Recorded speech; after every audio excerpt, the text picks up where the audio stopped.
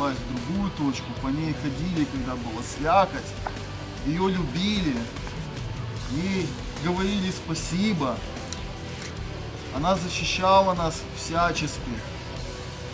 Это вулканическая плита. Отдать дань нашим предкам, которые строили наш город и делали все, чтобы эта плита работала тысячи лет на этот город.